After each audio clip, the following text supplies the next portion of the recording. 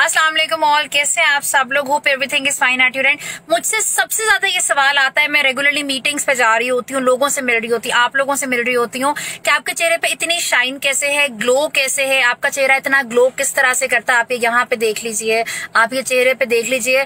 जब लोग करीब से देखते हैं कि कोई हाईलाइटर नहीं है, कोई फेस पॉलिशिंग नहीं हो रही है, कोई कोरोना के दिनों में क्वारंटीन के दिनों में जब सलोन्स भी नहीं है, इस तरह की चीज़ें हैं, एक चीज़ हमेशा याद रखिए glow scrub is specifically for glow जो हम 18 19 20 साल की उम्र के बाद हम लोग ग्लो लूज कर देते हैं। आई एम थर्टी प्लस अलहमदुल्ला और आप ग्लो देख रहे हैं मेरे फेस पे।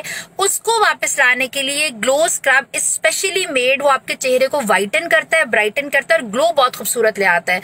स्पेशली मेकअप करने से पहले आप ये स्क्रब करो, आपको किसी हाईलाइटर की ज़रूरत नहीं पड़ेगी।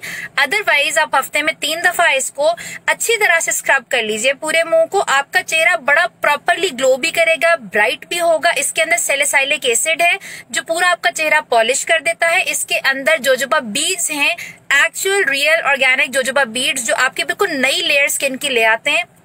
Your skin glows like anything so this is the basic thing इसको यूज़ कैसे करना है? I have told you guys go for it